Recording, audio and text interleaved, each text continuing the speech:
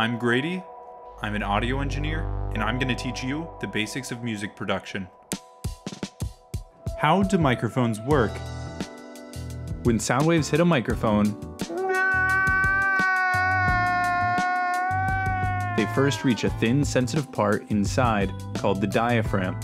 This diaphragm vibrates in response to the sound waves, moving back and forth with the air pressure changes.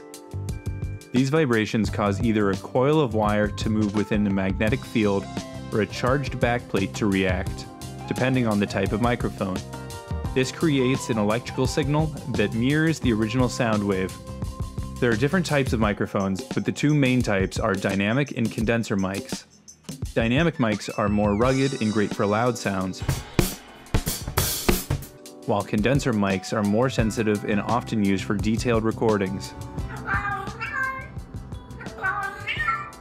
The microphone converts sound into an electrical signal, which travels down the cable to a recording device or interface, where it can be recorded, edited, and amplified.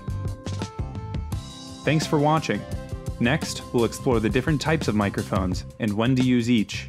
Follow for more audio basics.